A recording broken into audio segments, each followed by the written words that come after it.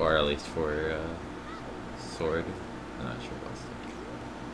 I'm doing it with stick because no ammo warp. Right. Not buffering it, right?